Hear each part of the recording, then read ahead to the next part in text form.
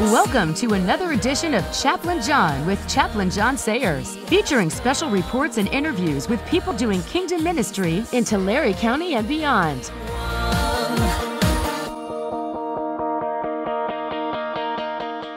And now, here's Chaplain, Chaplain John. John.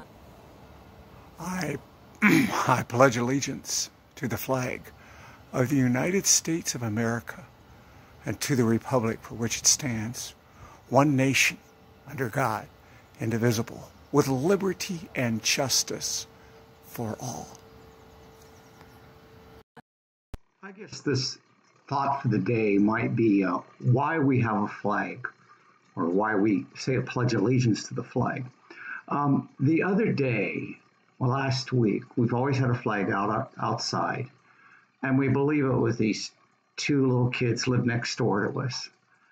We think they did it because they pulled it down and they broke the stand that it was on. I mean, it was on, and they just yanked it down. When we found out about it, I know that Gail said, "Guys, did you pull down the flag?" And they, oh, and they ran into the house. And then I saw them an hour later outside playing, and I just looked at the flag and where it was, and it was somebody pulled our flag down. And they looked at me and they go, and they ran into the house. We're pretty sure it was them. And then I got to thinking maybe they didn't understand why we put the flag up there. Maybe thought they thought it was just a decoration. We'll tear it down. I wonder if that's what people think when we um, show our the flag. Uh, by the way, I was going to show you this. This is kind of cool. This, ugh, when my father died, and my dad was uh, in the Navy. Uh, we put his, this is his Navy hat, we put it on this. I remember we had a military service for dad. Now, dad died uh, uh, after mom, and I, and it was a military service. I've conducted a lot of these. I didn't this one, I was just a son with, along with my sisters. And I knew that somebody was going to get the flag. It was going to be my oldest sister, Joanne. That's who it should have gone to. But the person conducting the service gave it to me. Now it wasn't in this case. Gail got, got this really case with my dad's name down here.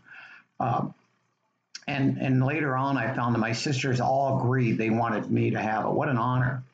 So I have Dad's flag, and with his Navy hat, and we have that displayed in our house where we all can see it. But but why even the flag?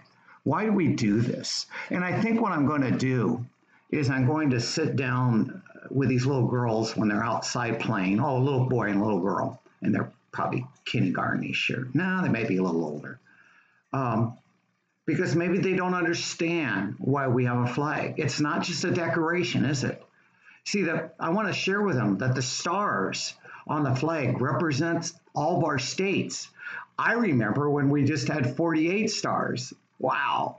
And then we added two more, Alaska and Hawaii, and so now there's 50. And the uh, the stripes represent the original 13 colonies. I mean, that's pretty rich. But why we have it and why we say Pledge of Allegiance um, is because we are one nation. And that flag reminds us we're one nation under God. Now, yes, the under God part was added later, but we say it now. Boy, if you want to hear a powerful message on the Pledge of Allegiance and the flag. Google Red Skelton. Yeah, the Red Skelton, the comedian, great man. Uh, his understanding of the uh, flag.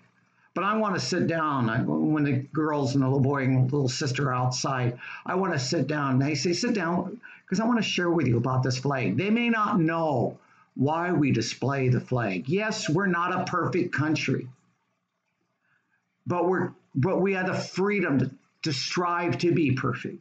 Yes, I know people are saying, well, did you know George Washington had slaves? Yes, I knew that. But also, if you read the integrity of George Washington, that what he he, I really truly believe he knew that wasn't right. Um, and in time, in time, our country was going to uh, stop having slaves, even if it took a war, and it did, didn't it? The Civil War. And are we perfect today? No, we're not.